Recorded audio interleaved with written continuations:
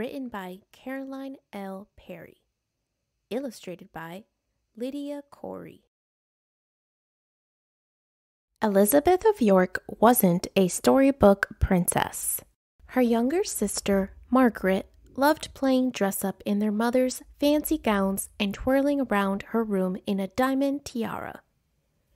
But Elizabeth was happiest wearing normal clothes and playing fetch with the family's dogs, Dookie and Jane. She spent afternoons at the stable grooming her Shetland pony, Peggy. You should have been a farm girl instead of a princess, Margaret teased.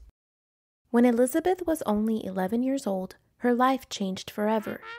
Her father was crowned King George VI. The family moved into the grandest house in the nation. Buckingham Palace was a cold, drafty place. The floorboards creaked when Elizabeth, Margaret, and the dogs snuck off to explore the 775 rooms. They peeked into echoey chambers with ornate ceilings and gaped at portraits of royal ancestors adorning the walls. They were scared to touch the priceless antique furnishings. It was a truly magnificent residence, but it certainly wasn't homey. People bowed and curtsied in King George's presence. Everyone called him Your Majesty. He was just Papa to Elizabeth, but Papa said that his little Lilibet would have to get used to all the fuss. Some day she would be queen. The king and queen traveled the world. They went away for weeks, sometimes months, at a time. Elizabeth and Margaret stayed behind. A queen in waiting was expected to be perfect at all times, but Dookie and Jane didn't have to worry about being proper. The feisty Pembroke Welsh corgis had no regard for royal rules. They barked at the princess's stern governesses. They chased palace servants around the great halls and wrestled when world leaders came to visit. Elizabeth wished that she too could go wild sometimes. When Elizabeth was 13, World War II broke out in Europe. For their safety, the princesses were sent away from London to Windsor Castle the king and queen stayed at Buckingham Palace. Even in their new home, Elizabeth and Margaret often woke to the loud shrill of air raid sirens. They huddled together in the underground vaults of the castle, behind hat boxes and cookie jars that hid the priceless crown jewels. It was freezing cold, and the girls were lonely and scared. The dogs never left their sides. War was still raging when Elizabeth turned 18. Papa told her she could choose any gift her heart desired. You must ask for a car, Margaret urged. Fine jewelry fit for a princess, Mamma suggested. A new royal title, palace advisers proposed. Elizabeth asked for only one thing. I want a puppy of my own, she declared. The princess got her wish a corgi puppy she named Susan. Elizabeth's heart swelled when she cuddled the tiny dog. It wasn't easy for a future queen to make friends. At last, she had her very own constant companion. Susan was small but rambunctious. She loved to show off her herding skills. There weren't any sheep at the castle, so she rounded up squirrels. When enemy planes flew overhead, she growled and guarded the princess like a precious lamb. Elizabeth was captivated by the little corgi. She hand fed her from a silver platter and walked her twice each day. She told Susan stories and stroked the puppy's soft belly. The princess had learned to bury her emotions, but somehow Susan knew exactly how she was feeling. The corgi nuzzled close when Elizabeth argued with her sister. Susan dropped toys at the princess's feet to cheer her up during long, boring lessons on constitutional history. She comforted her companion when the sounds of battle kept them awake at night. Having Susan at her side gave Elizabeth courage. She pleaded with Papa to let her join the war effort. It isn't fitting for a future queen, royal advisers wailed. I'm not an ordinary princess, Elizabeth insisted, and I have no intention of being an ordinary queen. She knew that she had to help her country. Eventually, the king relented and Elizabeth joined a women's regiment. She learned how to be a mechanic and she drove military trucks and ambulances. She became an expert at changing tires and fixing engines. Elizabeth returned to Windsor Castle each night, exhausted and covered in grease. Her dressers winced when they saw her oil smudged face and filthy overalls. But Susan always leapt into Elizabeth's arms. The loyal corgi didn't care about her appearance. The princess knew that her beloved pet was proud of her. At last, the war was over.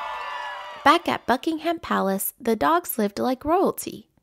They moved into their own special corgi room.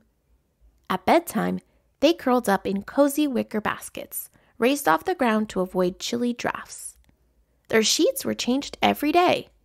They ate gourmet food prepared by palace chefs. Elizabeth took care of all the dogs.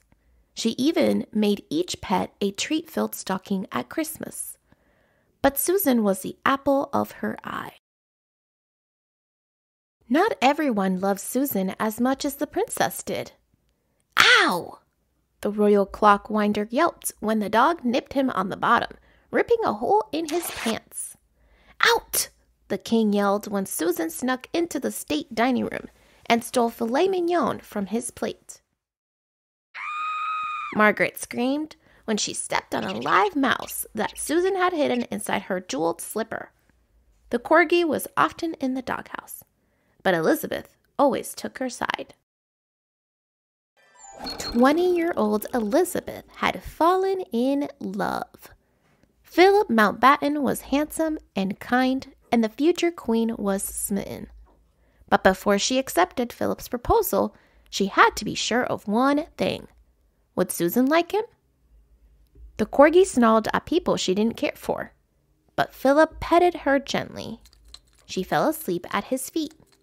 Susan approved. Elizabeth's wedding was the most lavish event of the decade. Extravagant gifts arrived from all corners of the globe. They filled an entire room at the palace. Invitations were sent to 2,000 viscounts, VIPs, duchesses, and dames, but the princess's closest companion wasn't on the guest list. Elizabeth's ladies in waiting hatched a plan to make Susan a secret part of the celebrations. After the ceremony on November 20th, 1947, the newlyweds rode across London in an elegant glass coach. Hundreds of thousands of well wishers lined the streets. Their chants were deafening. Adults and children waited for hours, hoping to catch a glimpse of the radiant royal bride. Not one of them realized that Susan was a stowaway in the gilded carriage, hidden beneath a hand woven rug on the floor. Palace staff had smuggled the dog on board with a stash of special treats and a hot water bottle to keep her warm. While waving at the jubilant crowds, Elizabeth could feel Susan playing at her feet. On the biggest day of her life, she had her best friend by her side. The following year, Elizabeth gave birth to a son, Charles. Susan also became a mom. She had two puppies named Sugar and Honey. The corgis traveled everywhere with the princess and her young family. Susan protected all of the babies in the royal residence. When Elizabeth was only 25, her father passed away. In a grand ceremony, she was crowned Queen Elizabeth II. Millions watched the royal coronation, and the world cheered for the beautiful young monarch. Elizabeth smiled for the cameras. A queen couldn't cry in public, but she sobbed for her papa when she was alone with Susan. Elizabeth soon learned how to be a great ruler. She welcomed people from all nations and faiths into her home. She worked hard to promote kindness and bridge divides. Susan was always by her side. But one cold January day, the barking stopped. The Queen buried Susan on the grounds of the Sandringham estate, where her playful dog had loved to run and chase pigeons. Elizabeth chose the inscription for Susan's headstone. For almost 15 years, the faithful companion of the Queen. No British monarch ruled longer than Queen Elizabeth II. Over the course of her long life and her remarkable 70 year reign, the Queen had at least 30 corgi companions. My corgis are family, she has said. Fourteen generations of her cherished dogs were descended from Susan. Elizabeth never forgot the corgi who helped a young princess learn how to become a beloved queen. Elizabeth and Susan's legacies live on.